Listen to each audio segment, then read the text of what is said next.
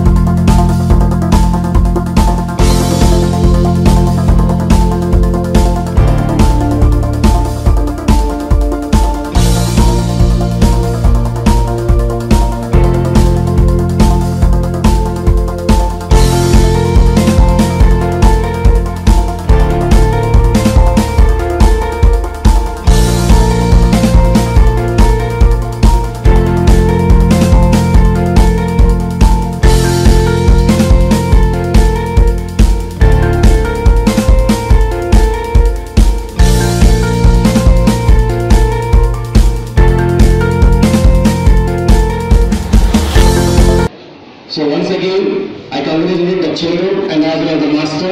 And really it is very happy. Some thousands of people have participated. Give our children receive the gold medal. Thank you, Nagar University.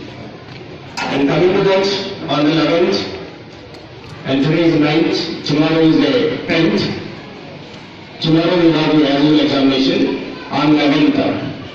On 11th, we have the school, and don't forget for that, already we have the examination, the last examination for all the children. On 11th, the 7th class children will have the examination in the morning.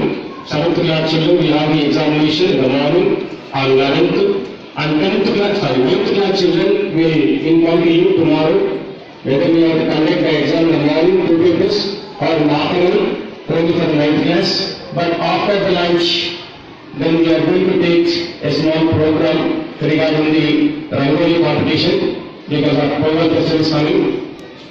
We have that.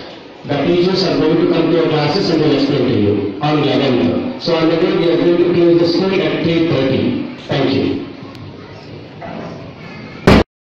Kendra